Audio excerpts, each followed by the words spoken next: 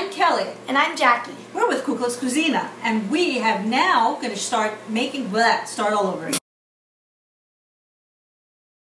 Hi, I'm Joanne.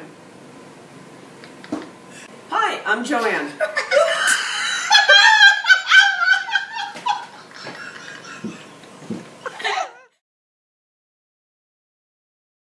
Hi, I'm Joanne, And I'm Jackie. and we're with Kukla's Kouzina. Today, we're going to demonstrate for you how we dust and powder our kourambiedes. The first thing that I do is... That Keep, just keep going. Just keep going.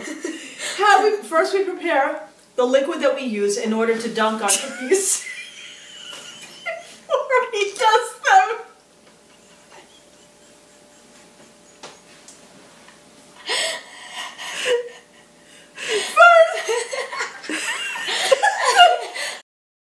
Your turn. You gotta dust your board. Next! Don't, don't actually do it. Just Next! We want.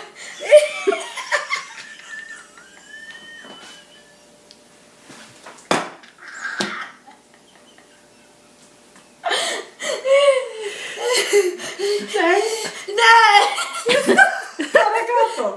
Next, you want to dust your surface. Today, our, s- our, keep going. our surface is a board. Now, you can use a sugar shaker or Duster, a sugar sh- a duster, sugar duster or this thing or one of these. or one or one of these.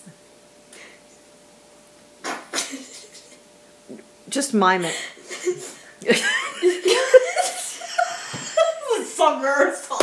Come on, guys. So you, you dust your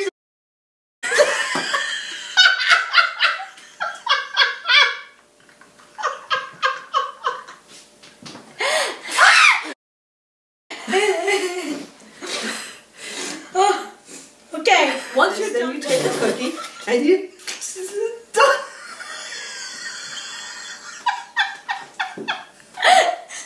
Take the cookie and you dunk it in the water, and then you place it on your dusting surface. And usually we do about eight to ten at a time because this way it allows them to dry a little bit before you add the sugar to the top. And we don't want the sugar to be added too soon because then it creates a little crust on the cookie. And the whole idea. That's my line. Ow! Go ahead. After you dip your cookie, you want to give it a few seconds uh, before you dust it so it doesn't get this crust layer on the top. So you want to give it a few seconds before you dust. Now you dust. And we want these cookies to melt in your mouth like butter. That's why we don't want that crust to be on there. And then when we're all done, this is what they look like.